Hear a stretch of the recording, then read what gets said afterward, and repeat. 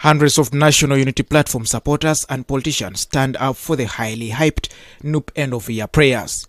The prayers were led by Dr. Abed Bwanika, the president of the opposition People's Development Party, who is also a member of parliament for the Kimanya Kabonera, and he was assisted by a number of other faithfuls.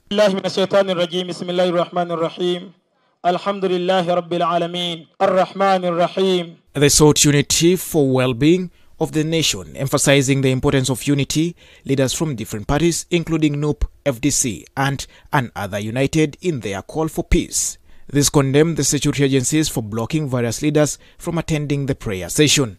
In post-prayer speeches, leaders expressed their hopes for the positive change and emphasized the significance of unity in addressing the challenges facing our country. In conclusion, despite the absence of religious leaders, the political leaders united in prayer, emphasizing the need for collaboration and understanding among Ugandans to overcome societal issues. My call to all of us, let's not give up. Let's give let's keep trying. We give it another try. Collectively this time, all of us, not in isolated pockets that we go individually, individual entities, we can do it once and for all and say, let's try it. And bring it to bring it force to bear. forces of change, the united forces of change, to put our ups together and fight together as a team. We no longer want to fight in our own cocoons. We have fought as individuals and we have not made any headway.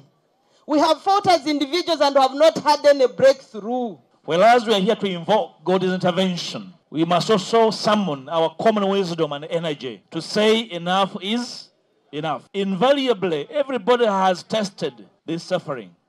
Every corner of this nation has tested injustice. Therefore, the commonality of our mission is well understood. In his remarks, the National Unity Platform President Robert Chagulanyi Sentamu condemned the continued violation of human rights, calling for an immediate halt to the abductions and the release of NUP supporters who were allegedly being unlawfully detained. But here we are praying for real people that are missing.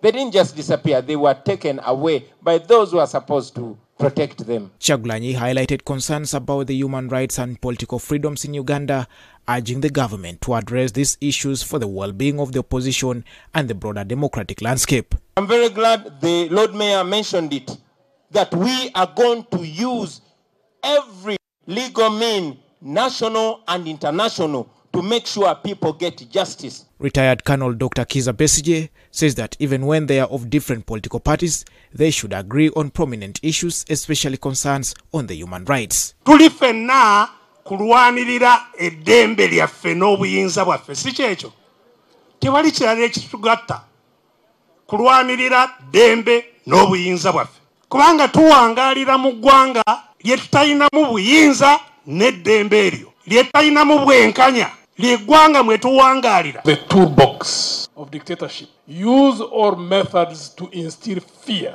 in a people and let people police themselves. Because when, when you arrest, intimidate, torture, cause disappearances, then you create an atmosphere of fear where everybody checks themselves. And therefore, you lengthen your period of control of that country. Relatives of National Unity Platform supporters killed and detained during political activism urgently appealed to the government for justice for their loved ones.